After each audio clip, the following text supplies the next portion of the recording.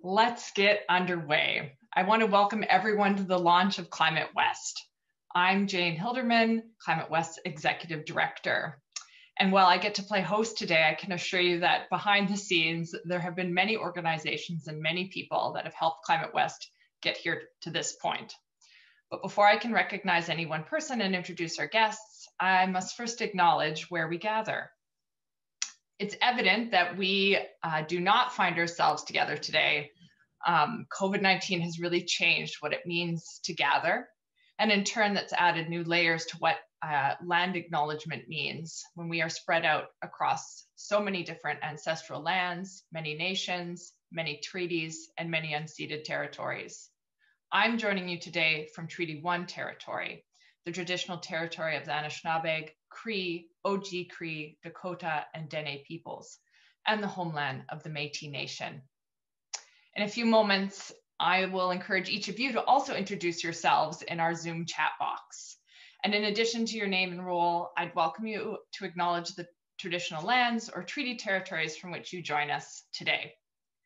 And given the focus of, of Climate West and our event, um, I think it's also really vital that we acknowledge that climate change carries profound implications for Indigenous peoples and their communities in the prairie region.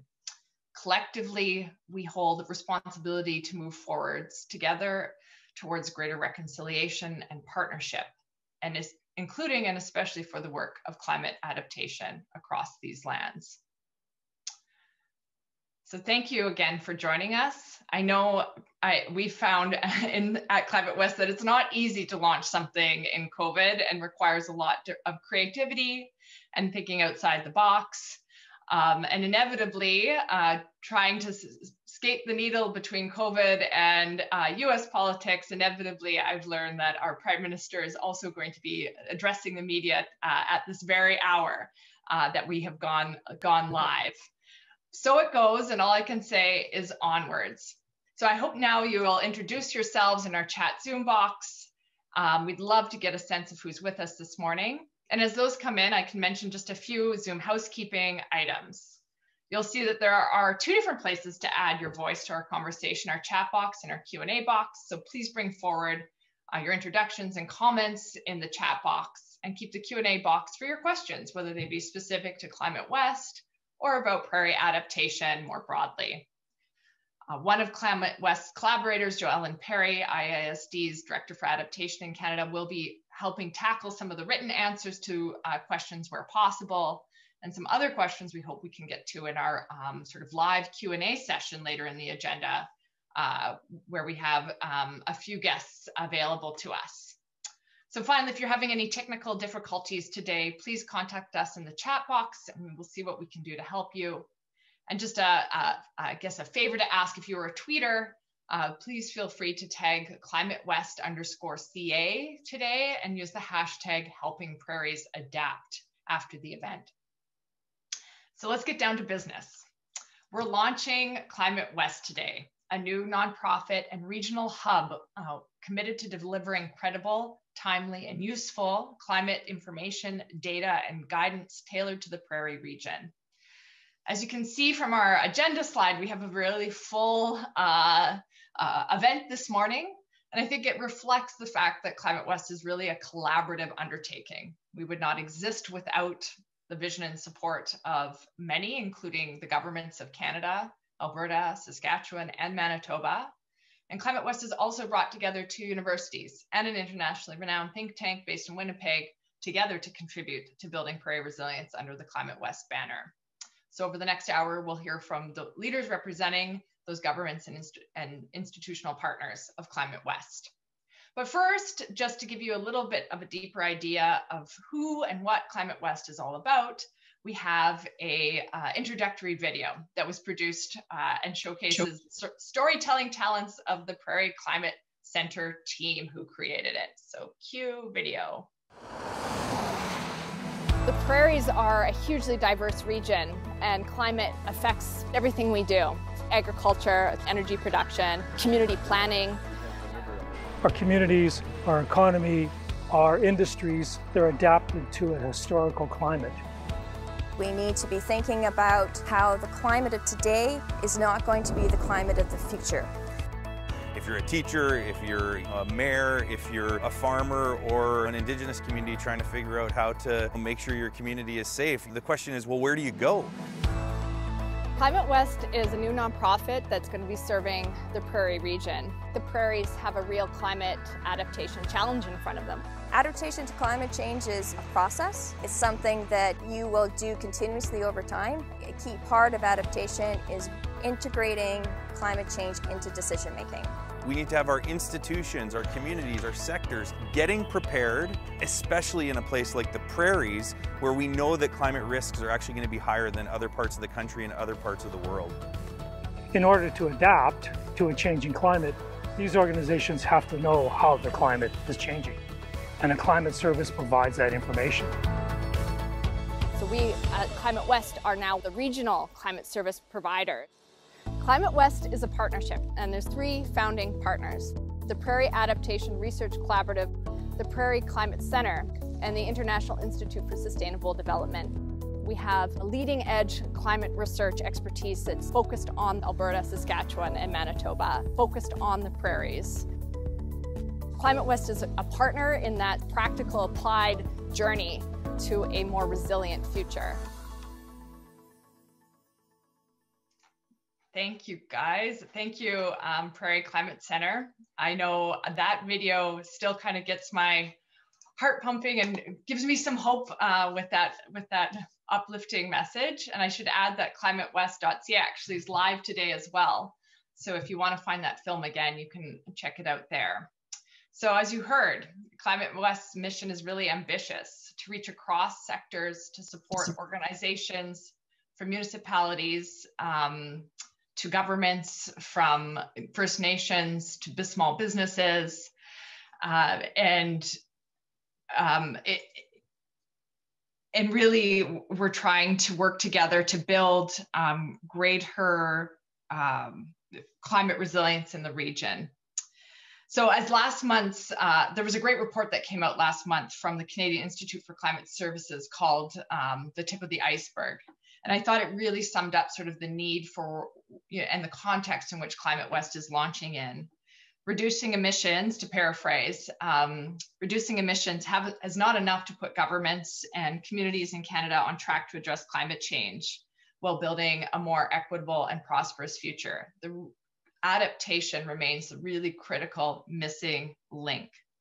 So all regions in Canada have work to do on this front, but I think there's a unique need and unique opportunity in the prairies um, right now. And as Dave Sauchyn at PARC, whom you met in the video, is fond of reminding me, um, the prairies already have one of the most sort of variable climates uh, on Earth, and not just in Canada, but on Earth.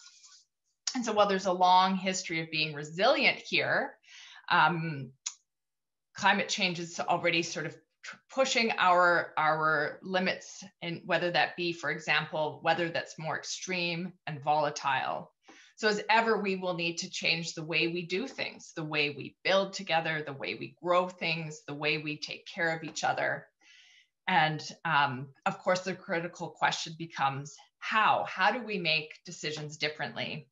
So that enter climate west um, that new hub for regional climate services climate services as a term is sort of new. So I just want to highlight that um, we draw on the experience of our three partners, PCC, PARC, and IISD. And in practice, that means that members from each team are sort of working together on different projects, which allows Climate West to take advantage of the range of skills and experience at each of those um, organizations. And at its heart, climate services are really about supporting decision making and planning to take advantage of the best available evidence, data, knowledge about our current and future climate in order to address climate risk and climate climate opportunities. And I think broadly at Samara, you can say, or at Samara, at Climate West, we could say we think about this work in um, three ways. The first is what I would summarize as just data, data, data making climate information more accessible, more user friendly, more relevant to the prairies is our, the name of our game in a way. And that means tailoring it for specific sectors and helping it be um, accessible to communities, businesses, governments um, who are turning to us for trusted answers. And under this, Climate West is going to offer a help desk available via email or telephone to answer queries about climate data and climate information, what, you know, what is out there, where to find it, um, what you might uh, need it to do, and how, how it can help answer your questions. Second, uh, in our sort of work, we think about, we recognize that data is not going to drive um, adaptation on its own. And so Climate West has a role to play in offering training and tools that are shaped by on the ground needs in order to help others navigate um, adaptation at all, all sort of stages and phases of that adaptation uh, cycle. We're really keen, I want to emphasize, to hear from others on this point. Um, what already works for you, where gaps are out there, how we can make resources really applicable um, in practice. So I would encourage everyone who's interested and has ideas not to hesitate to be in touch to share them with us. I think lastly, and uh, it's, it's an important point that Climate West exists um, to be sort of a public champion for climate adaptation uh, in the region and for the region. We look forward to sharing the success stories uh, from across Alberta, Saskatchewan, and Manitoba more widely in the coming years. So as for introduction to Climate West, I'm going to stop there because we want to hear from others who have played a key role in bringing together the support uh, to launch Climate West. And as mentioned, we have we aren't here with just one government, we're here with four governments. And so to kick us off, I'm really pleased to welcome Terry Duguid, Parliamentary Secretary to the Minister of Environment and Climate Change for the Government of Canada. Um, Mr. Duguid's also the Member of Parliament for Winnipeg South and his bio is just too long and varied, I think, to fully cover here, but I'll just add that he's been a long-time advocate and educator regarding environmental sustainability and climate action. Terry. Well, thank you, uh, Jane. You can hear me all right? Yes. That's great. Uh, well, good morning, uh, everyone. And uh, like Jane, I'm joining you from Treaty One territory, the homeland of the Métis Nation, and I hope uh, during this challenging time that that everyone is uh, staying well and uh, safe. Uh, bonjour tout le monde, j'espère que vous allez bien.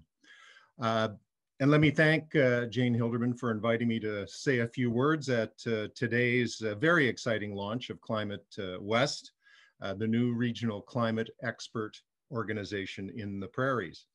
Uh, Climate West, uh, as you know, has been uh, two years in the making, and it's a true success story of collaboration uh, on climate change uh, adaptation. And, and that's what we do on, on the prairies, as many of you know. We, uh, we collaborate well, and I'd particularly like to congratulate everyone involved in this achievement, the governments of Alberta, Manitoba, and Saskatchewan, near and dear to my heart, the Prairie Climate Center, uh, stationed at uh, the University of Winnipeg, the Prairie Adaptation Research Collaborative, the International Institute for Sustainable Development, a storied organization that is located in the heart of our uh, city of Winnipeg, and uh, the universities of Regina and Winnipeg.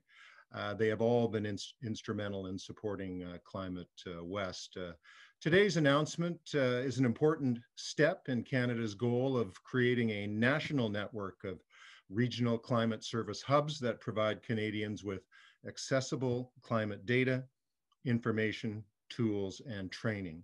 Uh, simply put, Climate West will help our communities across the prairies become more resilient in the face of a changing climate. And, and to support this uh, goal, I'm very pleased on behalf of the Government of Canada to uh, announce that uh, we've committed $1.95 million over three years to Climate West. And uh, very good news indeed.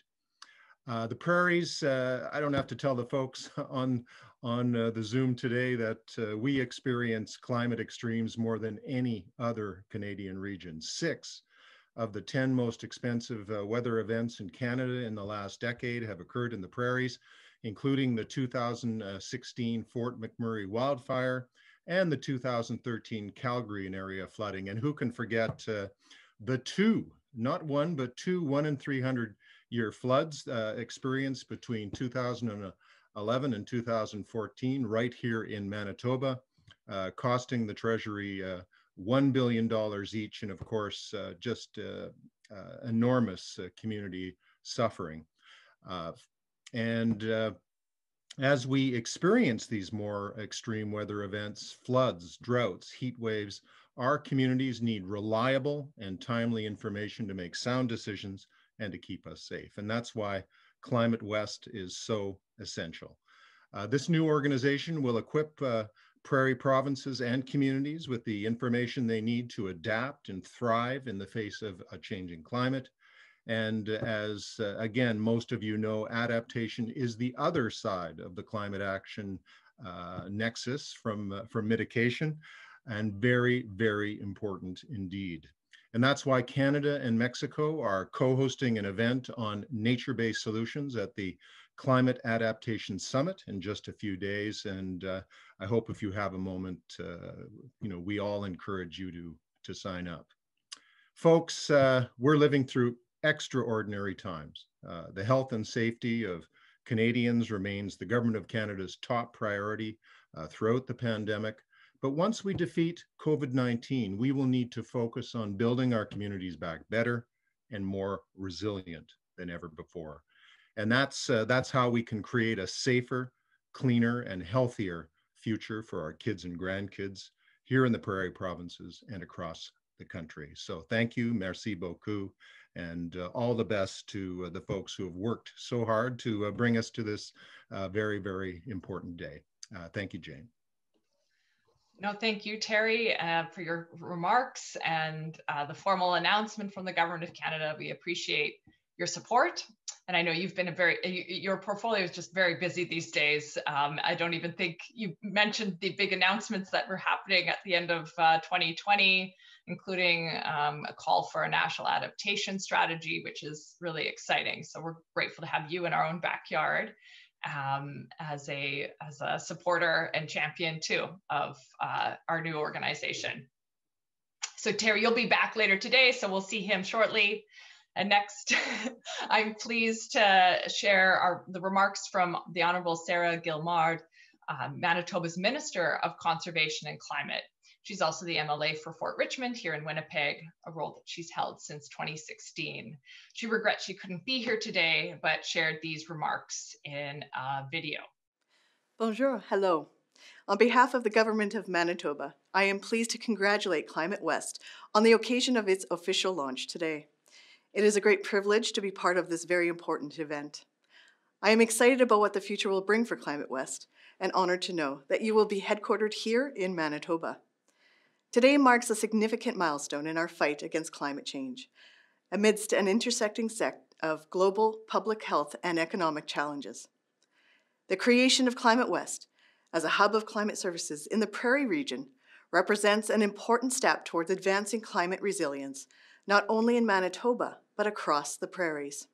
La création de Climate West en tant que plaque tournante des services climatologiques dans la région des prairies représente une étape importante pour faire progresser la résilience climatique, non seulement au Manitoba, mais également à travers les prairies. Hard work by many over the past few years has come to fruition. Climate change remains the defining environmental challenge of our time. The prairie region, the rest of Canada, and the whole world are now experiencing the impacts of a changing climate. Over recent decades, we have witnessed extreme events such as flooding, drought, heat waves, and winter storms that have adversely impacted many communities in the prairies. The cost of these climate events is growing and is anticipated to rise over the coming years with increased climate change. As regional hub of climate services, Climate West plays an important role in making timely, accurate, and relevant climate information available and accessible to governments, businesses, and communities across the region. These services will help enhance shared understanding of current vulnerabilities, risks, and opportunities that will enable robust adaptive planning and decision making. This is why my government is proud to support this innovative and collaborative undertaking in partnership with Environment and Climate Change Canada and the governments of Alberta and Saskatchewan. As well, the Government of Manitoba appreciates the efforts of the founding organizations instrumental in forming Climate West, the International Institute for Sustainable Development, the University of Winnipeg's Prairie Climate Centre, and the University of Regina's Prairie Adaptation Research Collaborative. Investing in actionable climate data and information reflects the Government of Manitoba's commitment to develop a robust, evidence based adaptation planning and risk management in the province and across the prairies. Manitoba's vision is to be Canada's cleanest, greenest, and most climate resilient province. Our plan adopts an holistic and integrated approach to protecting water, conserving natural resources, addressing climate change, and strengthening our local economy. The mandate of Climate West aligns well with our climate and green plan. Forging a strong partnership with the federal and prairie provincial governments and other sectors is essential to broadening policy discussions, sharing knowledge, and leveraging critical resources to advance climate re resiliency within the prairie region. Our collective investments will catalyze collaboration among experts, researchers, and practitioners to provide cutting edge climate services to meet the needs of economic sectors and communities. An integrated and coordinated approach to climate service delivery through research, training, and outreach will help enhance infrastructure, community, and ecosystem resilience to climate change at different scales. In closing, I would like to thank Climate West and our partners, and I wish you every success in your important work going forward. Congratulations and welcome to Manitoba. Félicitations et bienvenue au Manitoba. Well, thank you to the government of Manitoba for um, those remarks, and we are looking forward to working with you on advancing the Manitoba's climate and green plan. We're grateful for their funding commitment to Climate West as well. So following on Minister uh, Guillemard, I'm pleased to introduce the Honorable Warren Kaeding, Minister of Environment for the Government of uh, Saskatchewan. Uh, he is he was elected in 2016 as the MLA for the riding of Melville Saltcoats and um, has held since has took up the environmental portfolio following Saskatchewan's just recent fall election, having previously served as Minister of Government Relations, Minister of First Nations, Métis and Northern Affairs, Minister responsible for rural and remote health, as well as Minister responsible for seniors. Um, he also sent his remarks from, for, from video. Hello, everyone. I'm Warren Kaeding, Minister of the Environment for Saskatchewan. It's a pleasure to join you for the official launch of Climate West today. I think it's fair to say that we're all concerned about the future, the impacts of climate change on our environment and our communities. Clearly, there is a lot going on in today's world, but in Saskatchewan we are still looking to the future. Building resilience to the impacts of climate change is really a fundamental component of Saskatchewan's Prairie Resilience Climate Change Strategy. The ability to cope with, adapt to, and recover from stress is at the forefront. Our approach to climate change is multifaceted. It is about protecting people and communities while working to reduce emissions in the province. We recognize that even if we could slash our provincial emissions to zero by tomorrow, that the global climate will still continue to change. This is something much bigger than any one jurisdiction. Our province is actively working to reduce emissions in an economically sound manner while better preparing our communities, industry, and people for a changing climate. In 2018, we released our first climate resilience measurement framework, a commitment in the Prairie Resilience Strategy to report on the annual progress in the province. This framework is being used to measure how resilient Saskatchewan is to the effects of a changing climate and establishes long-term targets in a number of key areas, including the ability of our natural systems, physical infrastructure, and economy to thrive in a changing environment and a low carbon economy. It also focuses on community preparedness and the well-being of people, two key priorities for future planning. This year, Saskatchewan released an amended Statements of Provincial Interest, which provides guidance for municipal land use planning and development. The new regulations include guidance on how communities can incorporate climate resilience when planning for public safety and public works. Saskatchewan looks forward to collaborating with our regional partners through Climate West and the informational insight that they'll be able to provide. Together, we can build resiliency that allow us to strengthen our ability to anticipate climate risks in the prairies. Thank you. And thank you, uh, Minister Kaeding, for those remarks that were shared with us. And we're going to hear a little bit more from the government of Saskatchewan, with a represented by a Dr. Barbara Kishchuk, uh, who's the director of cumulative impacts and science branch of the government of Saskatchewan during our panel discussion.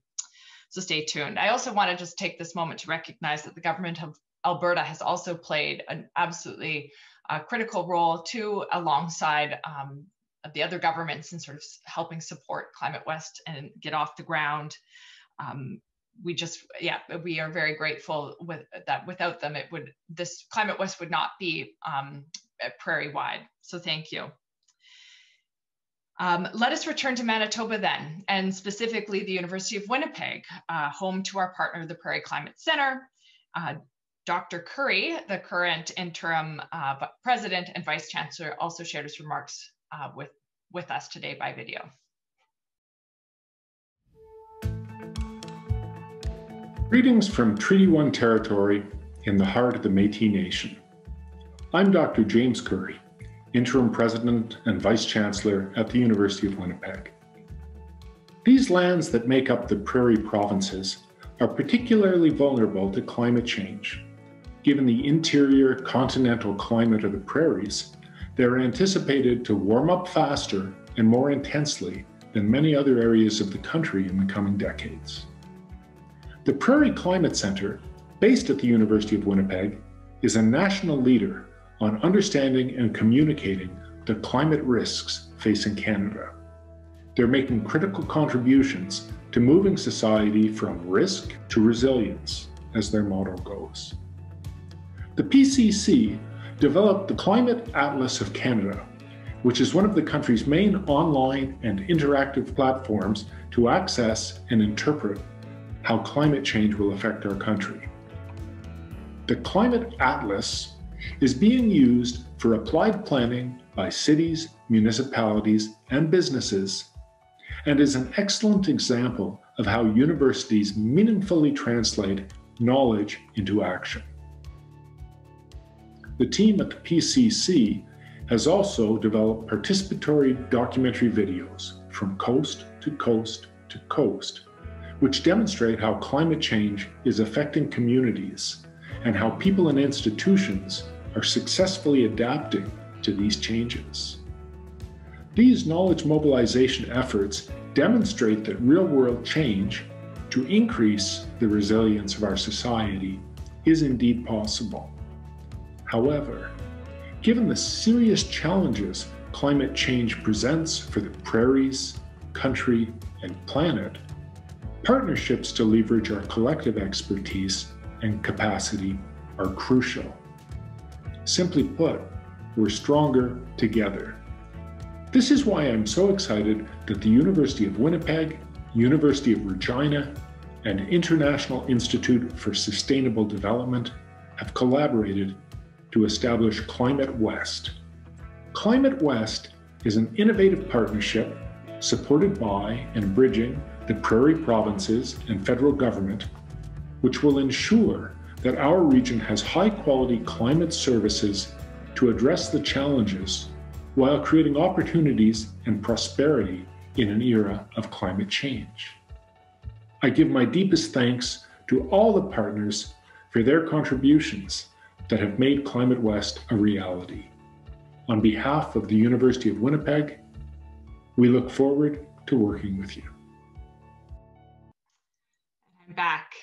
Uh, thank you, Dr. Currie, for your message and sort of the extra insight, I think, into the work of the Prairie Climate Center and it's specifically its Climate Atlas, which is a fantastic tool that we're so thrilled at Climate West to be able to build on and help, I think, boost the uptake of in decision making and planning across the region. So uh, we'll cross back over the Manitoba Saskatchewan border once more and now hear from the interim president and vice chancellor of uh, the University of Regina, home to PARC, one of our partners. Good morning. My name is Dr. Thomas Chase, and I'm interim president and vice chancellor of the University of Regina. We're proud that our university is located in Treaty 4 territory with a presence in Treaty 6. It is a pleasure to be part of the launch of Climate West. On behalf of the University of Regina, I am honored to share how committed we are to building a better future through innovative research and inspiring scholarship. By identifying environment and climate action as one of the five key areas in our strategic plan, we have set an institutional goal of reducing our ecological footprint by 25% by the year 2025. In so doing, we have made a strong institutional commitment to address one of humanity's most pressing needs. The university has been fortunate to have the Prairie Adaptation Research Collaborative, or PARC for short, call our campus home for 20 years. We are proud of the work led by Dr. Dave Sauchyn and his team, work that has established the University of Regina as a leader in climate change research and its application in public policy, business decisions, and community development. One example of this on the ground impact is PARC's recent work with the Saskatchewan Water Security Agency to enhance the capacity of agricultural producers across the province to cope with climate change. By incorporating climate change adaptations and strategies into the design and development of agricultural drainage infrastructure, Saskatchewan's farmers and communities benefit from innovative water management practices. PARC's research and leadership continue to highlight our university's commitment to better understanding and adapting to climate change. To continue that commitment, we are excited to be a founding partner of Climate West alongside the University of Winnipeg and the International Institute for Sustainable Development. Through this new partnership, the University of Regina will help build a multi-institution, multi-government collaboration for the meaningful application of research from our university. PARC's experience and expertise will help Climate West build climate resilience across the prairie provinces and spur demand for climate services in the region. Together with PARC, the university is excited to help generate new job opportunities and training to meet such demand. On behalf of the University of Regina, I commend all those whose hard work has helped to make today possible, including Environment and Climate Change Canada, the governments of Saskatchewan, Manitoba, and Alberta, and all the founding partners. I'm delighted to celebrate the new Climate West collaboration, and I further affirm our university's commitment to environment and climate action. Thank you, Dr. Chase at the University of Regina. And uh, I guess I'd like to add congratulations to PARC for over 20 years of operations um, that, that, have made it a true trailblazer on the field of climate adaptation research on the prairies. Um, we're really fortunate to have Dave Sauchyn and his team part of uh, the network um, I know he was very busy last month, along with a team of co authors on the release of the Prairie chapter of the National Assessment Project, for which he was lead author.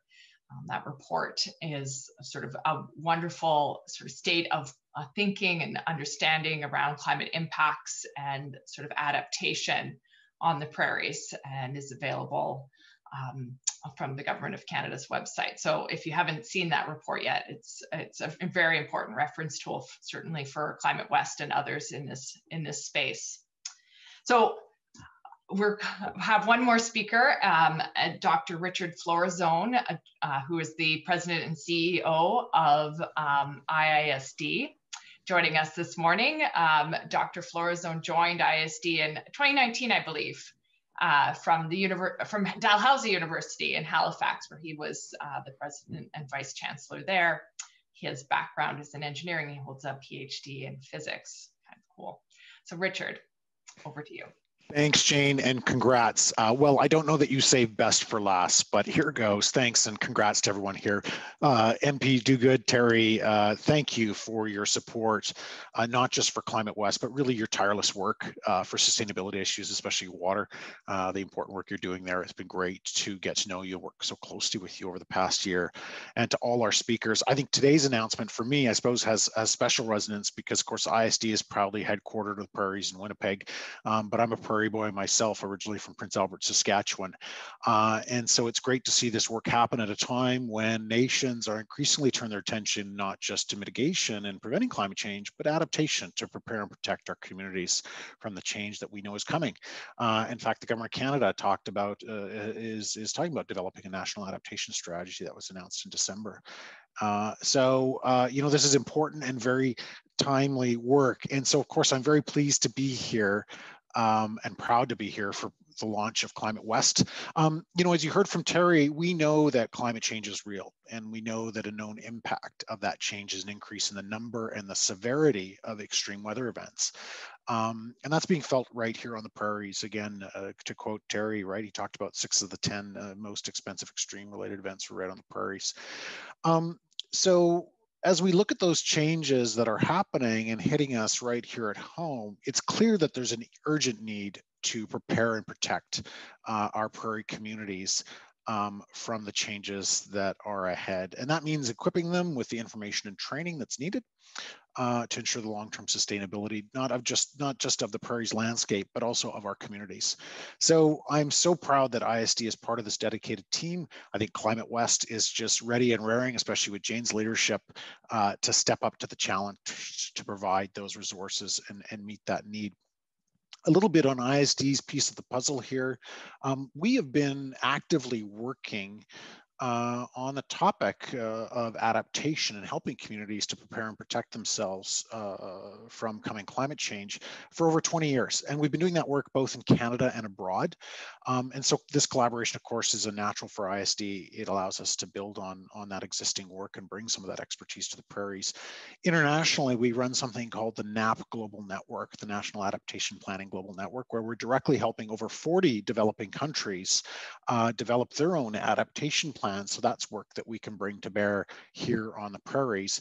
But of course, on the prairies, we've been active for a couple of decades, uh, building a community of adaptation practitioners, for examples, on, on the prairies through uh, adaptation practitioners rather, through our role uh, on the Secretariat of the Prairies Regional Adaptation Collaborative. And that, of course, is a federal provincial uh, initiative that brings together the three prairie provinces with Natural Resources Canada uh, to advance adaptation planning all across the prairies. We also work to track climate change through our long-term monitoring at ISD's experimental lakes area. And that work uh, now has gone on for over 50 years. And it's not just um, uh, measuring the effects of climate change, but also now advancing the science and solutions to address threats to Canada's freshwater. And then in Canada and abroad, we're also promoting the role of nature in providing real solutions to improve uh, climate resiliency. And that's work that we're doing um, not just in our Canadian offices, but uh, but also in our in our office in Geneva on uh, international work on nature-based solutions. So you know, we're very excited to support this work on the prairies uh, by playing this role in the creation of Climate West. Um, as you've heard, it'll be a regional hub for climate services, and to do that alongside our founding partners, the Prairie Climate Center and the Prairie Adaptation Research Collaborative. Uh, I don't need to describe the role. I think, Jane, you described that so well, the three things that we're going to do. Um, you know, understanding how those climate-related risks are changing on the prairies, uh, two, understanding the implications of those changes on the mandates and operations uh, for both the private and public sector. And three, then supporting the efforts, uh, really equipping our partners uh, to increase their climate resilience. So I just want to close by thanking everyone.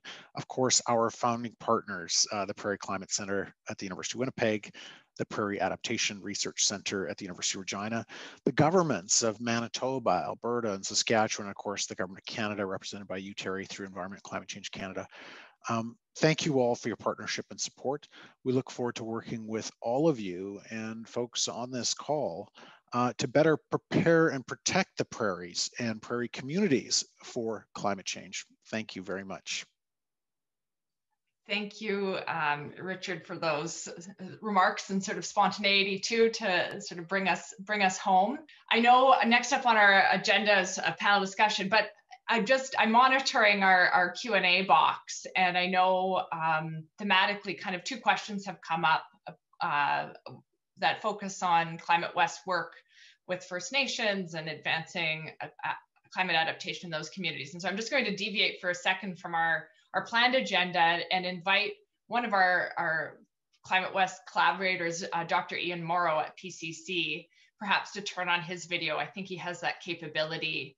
Um, and, and in part because um, I want to, you know, the, the kind of model of Climate West is I, I get the, the, the wonderful position of standing on the shoulders of, of the work that's been done by PCC, PARC, and IISD. And I know PCC has done um, a considerable amount of, of engagement uh, and, and sort of thinking about what adaptation uh, working with First Nations means and looks like. So I'd, Ian, I'd wonder if you might just speak a little bit more about how um, this work should take place and the role of incorporating knowledges into climate adaptation work. Sure, thanks, Jane. Uh, it's great to be here and thank you to all the panelists and everyone who has made Climate West possible today. It's been a lot of hard work getting here and so it's exciting to launch.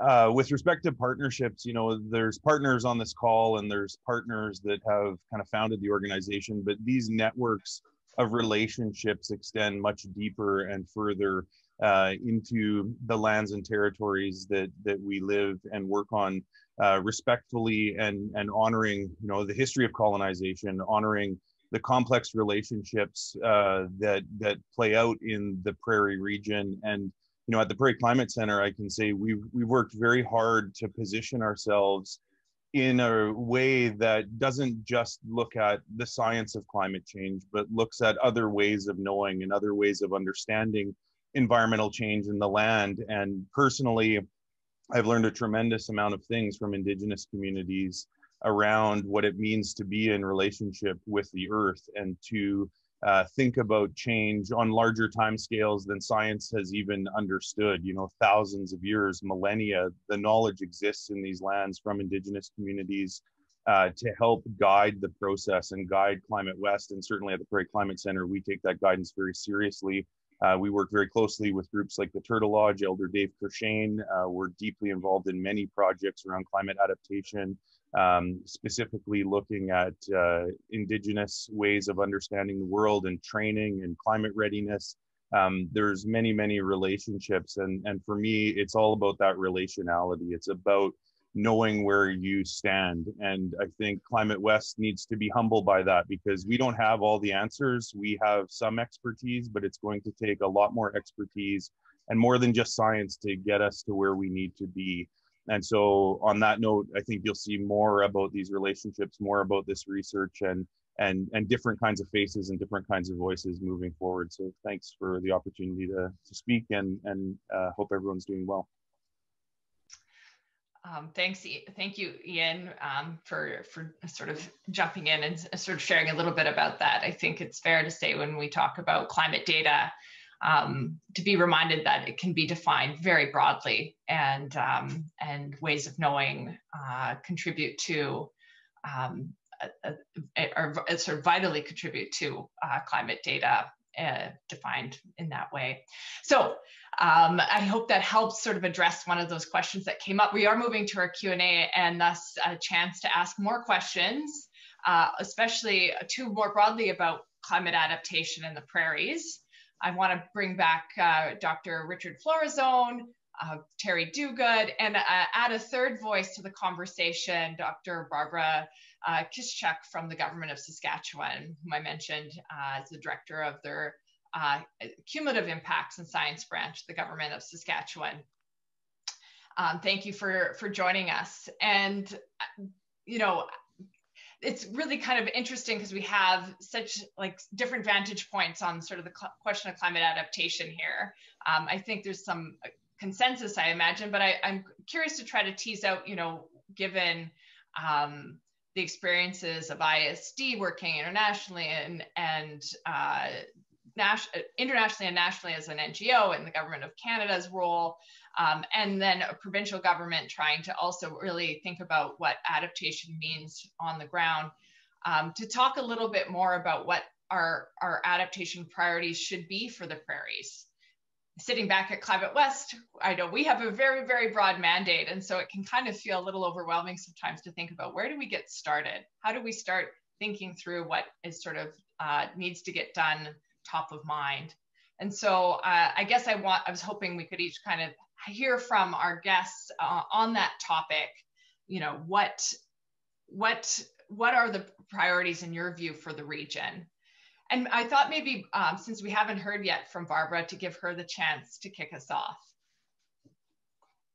Thanks, Jane. Uh, first of all, thanks, uh, thanks and congratulations on the launch today. It's uh, great to see this realized and the Saskatchewan Ministry of Environment um, has been really pleased to be involved in the development and we look forward uh, to working together going forward. Um, in terms of the priorities, I think to start with that, I'm going to go back a little bit um, along the trajectory. Um, climate science and climate research didn't always have the profile uh, that it has now. And so there's been a lot of foresight and a lot of commitment um, in putting the foundational pieces together by um, the founding partners um, who you mentioned and, and, many others who are on this call. Um, so I think in terms of prioritization, I think where we're going is into the some of the more integrated approaches we're seeing now, uh, climate resilience, nature-based solutions, uh, which are still going to draw on that core uh, data and core um, information, observations on changes. Um, I, am a little hesitant to sort of identify one area because it, it runs the risk of uh, oversight, you know, for some of the other areas. And I, I think I would just say going forward, keep doing what we're doing um, in terms of more integrated approaches, but drawing on that very foundational data um, that, that many have invested um, in making those contributions towards.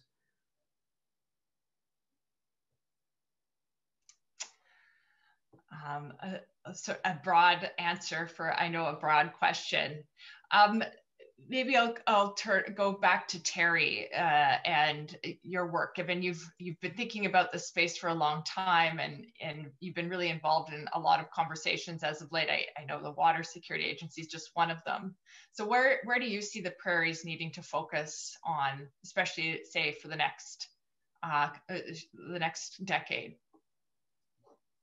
Well, uh, since you mentioned water, um, uh, which is an area that I'm, uh, I'm, I'm working on on behalf of uh, the government of Canada um, and uh, specifically Minister Wilkinson, who I'm representing uh, today.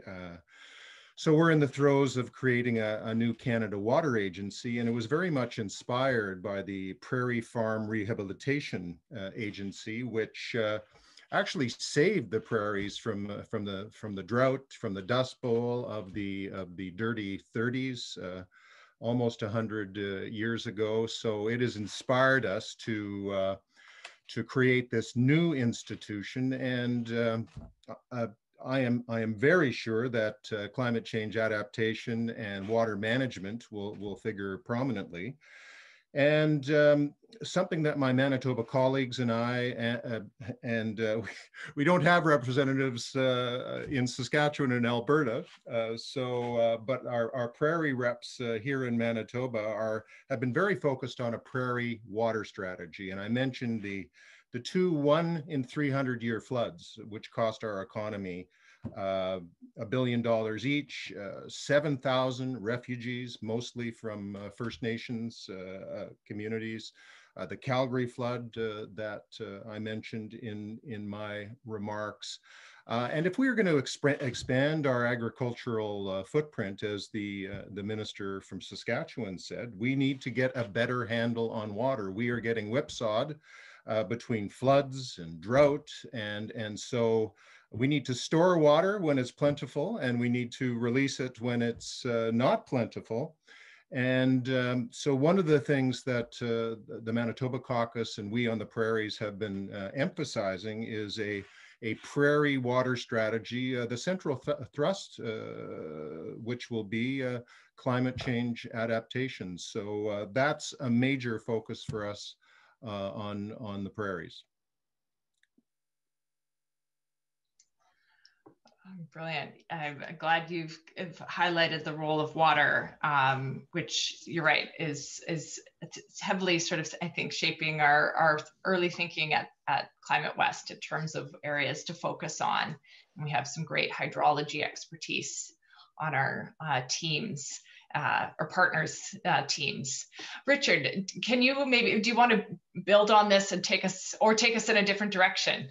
Yeah, thanks, Jane. No, actually, I'll build on it entirely because I think I think my thoughts on this are are very consistent with uh, Barbara and and Terry's comments. You know, when you think about where to focus, you want to focus on the areas uh, you know that, that, are the most important, but also that where you have the greatest opportunity for impact, um, where you see potential for partners to make a difference. And so, I'd really encourage you to think about you know kind of three intersecting issues. Um, water, nature, and partnership, particularly with indigenous communities.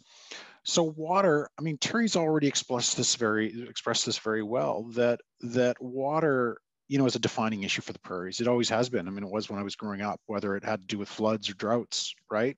Um, and so um, you're seeing an increased attention to water issues. So I think not only is it important to the prairies, but you're seeing, you know, an interest on the parts of governments uh, and private sector partners in the importance of water. So I think that is a that is a great place to focus. I'm going to add nature because um, there's a lot, and it's a bit of a, a buzzword in my field, uh, in the field of sustainable development. People talk about nature-based solutions, which is basically a way of saying, you know, how can you use nature and better leverage nature and invest in nature to deal with some of these impacts. And there's a lot of a lot of great work happening there um, um, that is that has quite spectacular returns both for the environment and I will say uh, economically. So that's why you see governments interested in things like tree planting, uh, wetland restoration around the world, think, investing in things like mangrove, uh, you know, to mangroves to kind of uh, protect against flooding. Um, we've done work across the prairies at ISD over the years that have shown has shown, uh, particularly around water, where you can use natural solutions, um, managing, um, say, runoff in the spring using quite simple interventions that have remarkable financial and, and environmental returns. This is an area that, again, is, a, is, is of increased interest in Canada for a good reason. It's, it's being looked at increasingly internationally. And so I think, I think if Climate West were to focus on water with a specific kind of looking at what are natural interventions we can make around management of water, that strikes me as a very rich area. And then finally, picking up on Barbara's point, uh, and and uh, our other speakers, um, you know, is looking for partnership particularly with indigenous, indigenous peoples. Look, these problems of dealing with climate are too big for any one organization or university or even country often to tackle alone. And so we need partners. We need to we need to bring in partners to. We know that well as think tanks, right? We we have good ideas, but if we want stuff to happen, we need partners. Um, and with indigenous communities, you know, I'm always I'm always reminded of a of a phrase uh, that Murray Sinclair uh, uh, once shared with me, which was no nothing about us without us, right? So it's about finding topics that that indigenous communities aren't just engaged uh, consulted on, but are true partners in, that are true priorities for them. Um, and similarly, uh, you know, trying to find common ground with the private sector, with municipalities that are often dealing with these issues uh, are right on the front lines of it. So that's some broad, uh, broad direction, Jane. I'm sorry we don't have an exact recipe for you, uh, but we'll trust on you as our new exec director.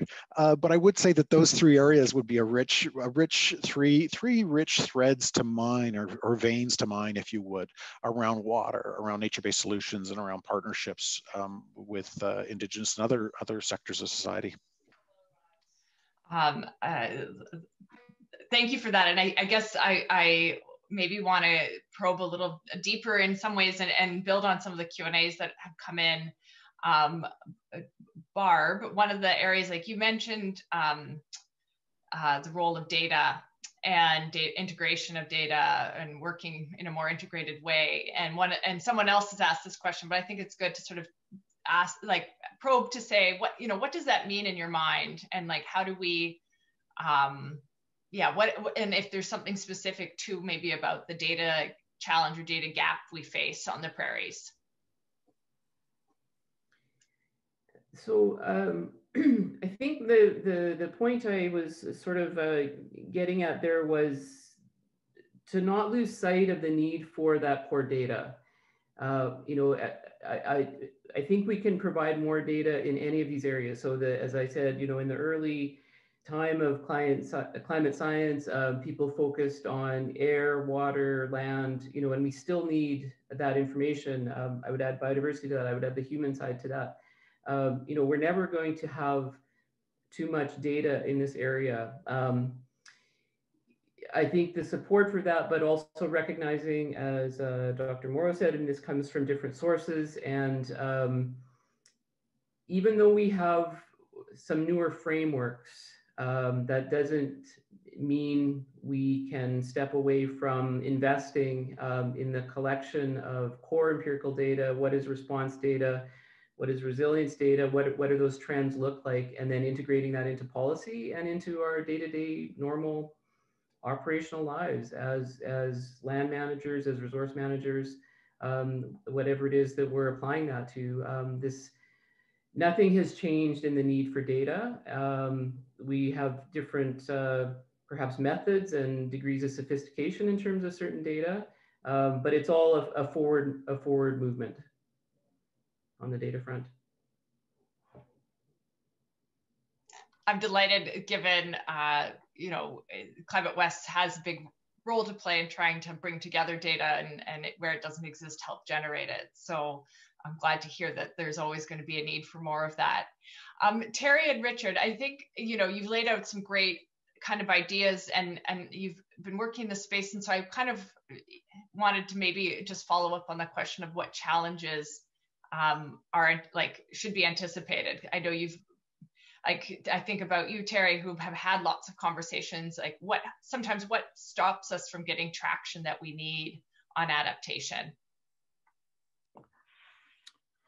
Uh, well, I guess uh, I'll, I'll start. Uh, Barbara just mentioned uh, data, and uh, again, I'm I'm a little uh, possessed with the waterfowl right now, but you know, we we collect it in in in different ways. Some data is uh, is is sitting in a file folder uh, in a in a in, in a filing cabinet. Uh, some is on a floppy disk. Uh, it's just really all over the place. So we need to um, uh, get to a place where our data is what they what they call interoperable, and so that we can share it. And when you're talking about something like a prairie watershed where there's an upstream and a downstream, uh, we need to know what's uh, going on, particularly we in Manitoba, because uh, we're, we're at the end of the pipe, uh, so to speak, in terms of nutrient management, in terms of, uh, of water flow. So data is very, very important, and I know your organization is going to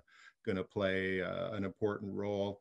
And you know the um, involvement of indigenous peoples has come up uh, several times in the conversation already. There are some wonderful examples out there of uh, uh, of uh, indigenous peoples finally being at uh, the table and contributing mightily uh, with traditional knowledge, but just and with knowledge of of their particular territories. I would note the, the collaborative leadership initiative funded under the Lake Winnipeg program. There are 18 municipalities and 11 indigenous governments. Uh, these folks had not talked to one another in 153 years. And now they're looking at uh, natural solutions that uh, will help reduce nutrients going into Lake Winnipeg, but also uh, to, uh, to achieve uh, some of not only our climate change adaptation goals, but our, our, our mitigation uh, goals as well. Indigenous peoples have not been at the table when it comes to water management. We think of Shoal Lake, where uh, they boil their drinking water while we pipe it in uh, to, to Winnipeg and treat it here.